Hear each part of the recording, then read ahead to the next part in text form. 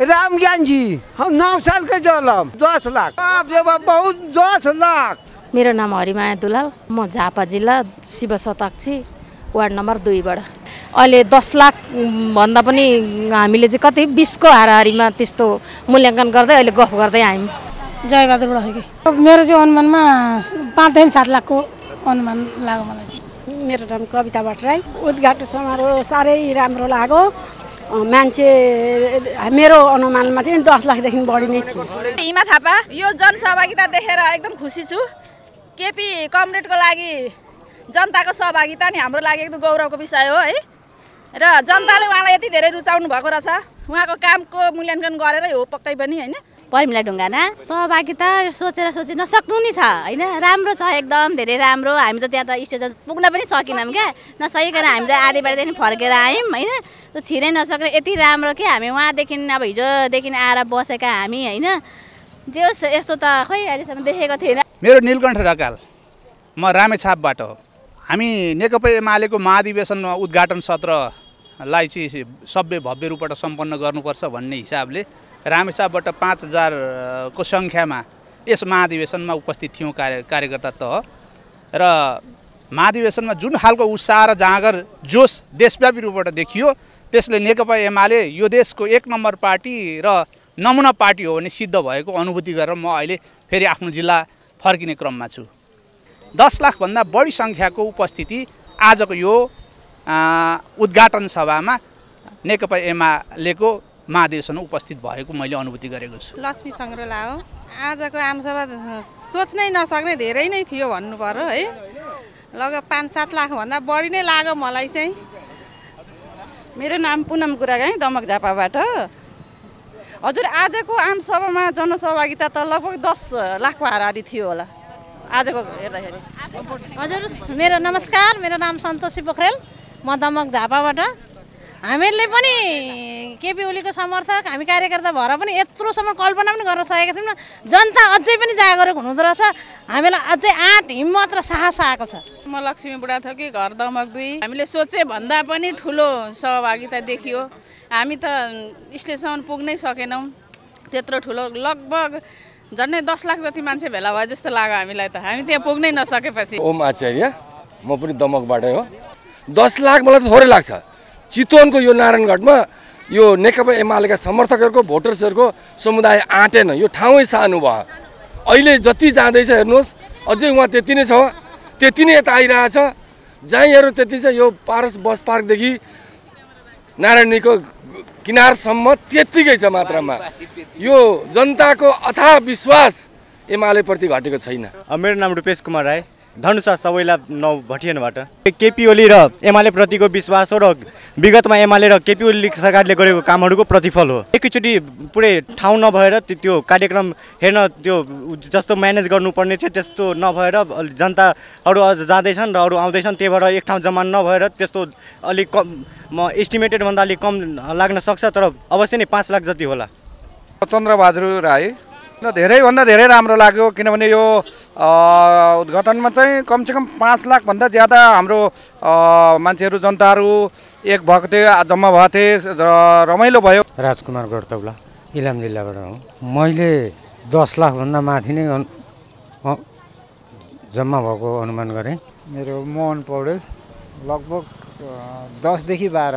करिब करिब मेरो पनि अनुमान दसदेखि एघार बाह्र लाख जति। जनमानस उपस्थित थियो होला भन्ने लागेको छ मलाई। मेरो रत्नबहादुर जिमी धरानबाट अहिले केपी ओली साहबको चाहिँ दर्शन गर्न गएर आएको अनि हामीहरूले लागेको उता। अहिलेसम्म आमसभामा मैले लगाएँ कि कर जस्तो ज- नागेको जस्तो मलाई लाग्दैछ। श्रीप्रसाद यादव। धेरै खुसी लाग्यो धेरै राम्रो लाग्यो। एक करोड जति थियो एक करोड जति थियो। त्यतिकै थियो एक करोड जति थियो। बाबुराम बराल झापा गौरा गौरा द अब टार्गेट चाहिँ पाँच भनेको थिएँ पाँचभन्दा बढी नै थिएँ। पाँच लाखभन्दा बढी नै मानिसहरू भनेर सुनेको हो। महाधिवेशन त अब ठिकै लाग्यो। अब के अब महाधिवेशन गर्ने भने अब नेताकेले हो। हामी त यसो सहभागी हुने मान्छे हो होइन? मेरो नाम शिवप्रसाद हाल। घर उही झापा केपी ओलीको क्षेत्र हो। र हामीले अब चितरा पठाएका हाम्रा अब सम्मानीय प्रधानमन्त्री अहिले अब हाम्रो पार्टीको अध्यक्ष हुन्। उहाँको भिजन र उहाँको जुन दूरदर्शिता हामीलाई देखेर हामी पार्टीलाई अगाडि बढाउन लागि हामी लागेका हौँ। र उहाँले यो देशमा यो उहाँको राजनेता नै हो यो देशको। र उहाँले जनता देश राष्ट्र र राष्ट्रियताको लागि उहाँ अगाडि बोकेर हिँड्नुभएको मान्छे व्यक्तिगत रूपमा उहाँले कुनै पनि त्यस्तो खालको आफ्नो अहमता केही पनि छैन। र देश जनता मजदुर गरिब किसान र किसानहरूको लागि उत्थानको लागि उहाँ हिँड्नुभएको छ। त्यसैले उहाँलाई अझै पनि हामीले उहाँलाई एकपल्ट यो राज्य सुम्पिनुपर्छ भने हाम्रो ध्येयको लागि हामी यो महाधिवेशनमा हामी यहाँ उपस्थित भएका हौँ। दिव्यराज निरौला म हेटौँडाबाट सभाको कुरो गर्नुपर्दा म त पुग्नै सकिनँ त्यहाँसम्म हेर्नु न आउँदा आउँदै ढिलो भयो होइन? भर भर्खर जाँदैछु अब पुग्न सकिन्छ कि सकिँदैन भन्ने छ होइन? हेटौँडाबाट आएको अब जाने इच्छा धोको चाहिँ थियो। अब दस लाखभन्दा माथि नै हुनुपर्छ। मनोज कुमार शाह लगभग लगभग हामी बिहानै यहाँ आइपुगेको थियौँ हाम्रो टोली र लगभग लगभग दस लाखको जनसङ्ख्या हाराहारीमा छन् यहाँ सहभागी। गोपाल बहादुर कार्की। म चाहिँ मोरङ काने पोखरी तिन नम्बर वार्ड। मैले त अब बिहानदेखि हेर्दाखेरि लगभग पन्ध्र लाखको अनुमान गरेँ। मेरो नाम दिनेश गिरी। अब हामी तपाईँको बिहान आठ बजीदेखिको तपाईँको उहाँ आमसभा हुने ठाउँमा छिर्नै सकेन भिडभाडमा। बाहिरबाट हेऱ्यो हेरी फर्क्यो। लालबाबु शाह। अब मानिस त अब धेरै अब अनुमान जस हेर्दाखेरि त पुरै यताउता सबै अब दस लाख चाहिँ बढी नै होला तर घटी हुन अनुमान। कविता देवकोटा रत्ननगर। नौ। हामी एमालेको दसौँ महाधिवेशनमा टाढा टाढाबाट पा आएका छौँ। हामीलाई दुःखको पनि प्रभाव नगरिकन हिँड्दै हामी आज अधिवेशन सफल पार्न आएका छौँ। आजको यो मास देख्दा र यो जनसागर देख्दा केपी ओलीको नेतृ नेतृत्व चाहिँ सबै जनमानसले रुचाउनु भएको रहेछ भन्ने हामीलाई एकदम महसुस भएको छ। हामीलाई एकदम गर्व लागेको छ। सानैदेखि एमाले भनेर झन्डा बोकेर हिँडिन्थ्यो। आज यो जनसागर देख्दा झन् एकदम गौरव बढेर आएको छ। हामी असाध्यै खुसी छौँ। आज हाम्रो अधि अधिवेशनको अनुमान चाहिँ पाँच लाख हो तर चाहिँ पाँच लाखभन्दा पनि बढी जनमानस आउनु भएको छ भन्ने मेरो आफ्नो चाहिँ मूल्याङ्कन रहेको छ। मेरो नाम प्रकाश यादव हो डोटहर जिल्ला माधव नारायण नेपालका नौ पाँच छ लाख मान्छे आएको थियो मेरो नाम लालबाबु ठाकुर हो। त्यही पाँच छ लाखसम्म थियो। एकदम राम्रो महसुस भएको छ। यस्तै हुनु पर्यो होइन? यस्तै खालको अझै हुनुपर्ने विकास हुनु पर्यो हाम्रो होइन? त्यही हो। समुदास कथोरिया जनकपुरबाट। महसुस त धेरै राम्रो भयो यात्रा पनि धेरै राम्रो भयो। यात्रा पनि धेरै राम्रो भयो। मन्त्रीसँग भेट्ने भनेर सोचेर आएको थियो अनि भिडको कारणले भेट्न पाएन। त्यही हो मन्त्रीसँग भेट्न आएको। अब भेट भएन त्यही पुलनिर गयो उताबाट फर्केर आइहाल्यो अब मान्छे मात्रै हेरे मान्छे धेरै फुल इन्जोय गरे हजुर। चन्द्रबहादुर कामी रामेछाप जिल्ला हो घर। यो महाधिवेशनले चाहिँ नेपाल आम देशैभरि एमाले रहन्छ भन्ने हामीलाई विश्वास भयो सबैतिर जनसङ्ख्या उत्तिकै भएको देख्दाखेरि चाहिँ मैले अनुमान आठ लाख जनसङ्ख्या सहभागी भयो भन्ने चाहिँ मलाई आत्मामा विश्वास लागिरहेको छ। सर एमालेको सरकार विकासको मध्येमा धेरै गर्नुभयो। म दुर्गाराम कार्की हामी एउटा वार्डबाट आठ दसजना आएका छौँ। आठ दसजना मात्रै आउँदा पनि यत्रो भिड यो सम्हालि नसक्नु अब एउटा भिड भनेको के भने अब एउटा मा माधव कुमार नेपालले केपी ओलीको पार्टीलाई लाइट बालेर खोज्नुपर्छ भन्दैछ। अब केपी ओलीले खोज्नुपर्ने हो कि उसले खोज्नुपर्ने त्यही मात्रै हो। मेरो नाम तीर्थराज भट्टराई उर्लाबारी नगरपालिका वडा नम्बर चार हो। जाउँ न त है भनेर हेर्न पनि आएको। यो जनमानस देखेर त के भन्नु सारा संसारै उर्लिएर छन् एकदम राम्रो छ। होइन दुःख सुख त हुन्छ तर त्यसको प्रभाव नगरिकन हामी यहाँ सहभागी गरेर भएर चाहिँ अब फर्किँदैछौँ। र वास्तवमा ओलीले विकास गर्न नचाहेको होइन। तर यहाँ खुट्टा तान्ने प्रवृत्ति र कुर्सीको प्रवृत्तिले गर्दाखेरि चाहिँ यो सबै भताभुङ्ग भएको हो। प्रेम कुमार अधिकारी। अनि उदयपुरबाट आएको। लगभग अब एमालेको चाहना भनेको सात लाख उ- उठाउने भनेर जुटाउने भन्ने कुरो थियो होइन। त्यस्तै सात लाखभन्दा माथि नै हुनुपर्छ मेरो लागि। झन्डै डबलको हाराहारी हो कि यो जमात हेर्दा? मेरो नाम सम्मु प्रसाद शाह। धेरै राम्रो लाग्यो मलाई त जति सात आठ लाख जति अनुमान लागिरहेछ। अर्जुन कुमार मगर मोरङबाट। लगभग लगभग हाम्रो मेरो अनुमानमा मैले अब गएर पुगेर उहाँ पटरसम्म पुगेँ नारायणी किनारसम्म पुगेर आउँदा लगभग लगभग आठ लाखभन्दा कम चाहिँ छैन। बैद्यनाथ शाह सिराबाट हो। यहाँ हाम्रो त पाँच लाख मान्छे त बाटैमा होला। अलपत्र परेर त्यो बस्न आएर बाटैमा होला ती। र जुन सोचेको थियो नि त्योभन्दा बढी नै त्यहाँ होला। धनराज गुप्ता म परवानीपुर बिजनेसबाट यहाँ लमसम तपाईँको हेर्नुहोस् न यहाँ जति मान्छे अहिले निस्किरहेछ त्यतिकै मान्छे तपाईँ पसिरहेको पनि अवस्था छ। त्योभन्दा तेवर मान्छेहरू त्यहाँ तपाईँको नरायणीको किनारमा चाहिँ उभिएको अवस्था छ। त्यतिकै मान्छेहरू तपाईँको बाटोमा उभिएको अवस्था छ होइन? मान्छेको एकदम दस लाखभन्दा कम छैन मान्छे त्यतिको मान्छे छन्। हजुर मेरो नाम सोहेब अन्सारी हो। म वीरगञ्ज महानगरपालिकाबाट वार्ड नम्बरबाट आएको अरू ठाउँै थिएन नारायण खोला बाहेक। जे होस् केपी बाई लभ यु लाल सलाम जिन्दाबाद। केपी ओली जिन्दाबाद। हाम्रो अनुमान चाहिँ पाँचदेखि दस लाखसम्मको थियो तर लगभग त्यस्तै आएको छन्। आठ नौसम्म आएको छ। बेनी पाठक म नेकपा माले हुँदादेखि पार्टीमा आबद्ध भएको मान्छे। दुई हजार बयालिसदेखि म यही पार्टीमा छु। र आजको दिनसम्म आउँदै गर्दाखेरि माले एमाले र नेकपा भइरहँदाखेरि नेकपा हुँदा भन्दाखेरिको भन्दा पनि विशाल चाहिँ नि सर्वव्यापी भएको मैले महसुस गरेको छु। राजकिशोर यादव उद्घाटन समारोह देख्दाखेरि मानव सागर ओर्लेको जस्तो लाग्यो। हामीले कल्पनामा पनि सोचेको थिएन यति मान्छे आउँछ। जुन स्थल थियो त्यो स्थलमा मान्छे अट्न सकिएन।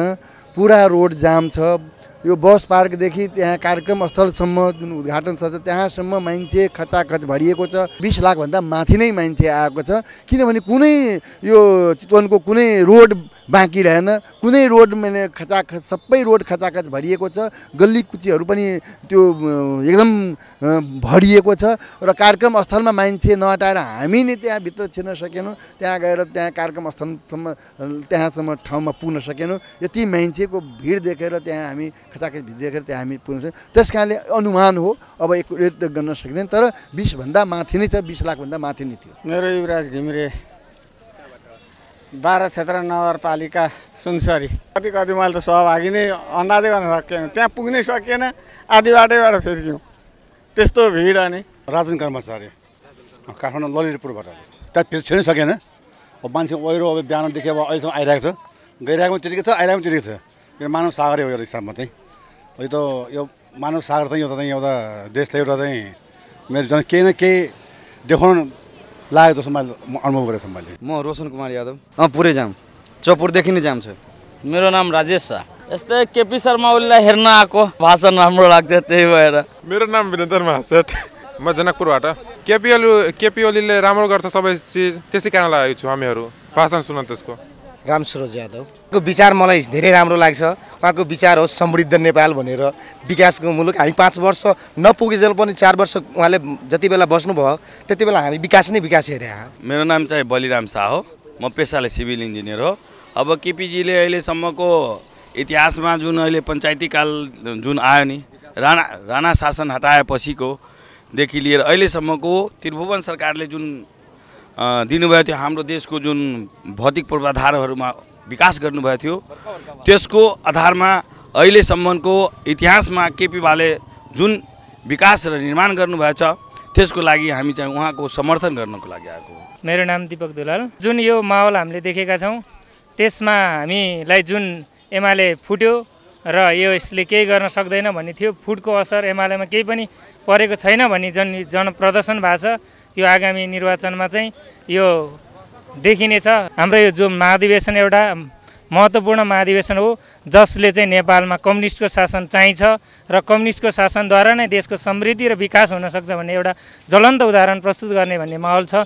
त्यही भएर हामी अझै पनि अझ हामी लगभग दुई किलोमिटरको दुरी पनि अझै हामी पार गर्छौँ र जुन स्थल छ कार्यक्रम स्थल त्यहाँसम्म पाइला टेकेर चाहिँ हामी चाहिँ बुलन्द आवाज प्रदर्शन गर्न चाहन्छौँ भन्दै हामी अगाडि बढिरहेका छौँ। मेरो नाम रामप्रसाद कणेल जितपुर सिमराबु महानगरपालिका बिस नम्बर वार्डबाट उतैबाट अझ हिँड्दै आउँदाखेरि अब यति बेला यहाँ आइपुग्यो। त्यही पनि अब हाम्रो कार्यक्रम सफल रहोस्। मेरो नाम मोहम्मद इस्माइल मंसूरी हो। म वीरगञ्ज पर्साबाट आएको। बाप रे यहाँको मान्छे त लाखौँको सङ्ख्या मान्छे छ। म शमसुद्दिन मन्सुर वीरगञ्ज छप्पैया वार्ड नम्बर तिन। भिड के छ हाम्रो पार्टीगत हो।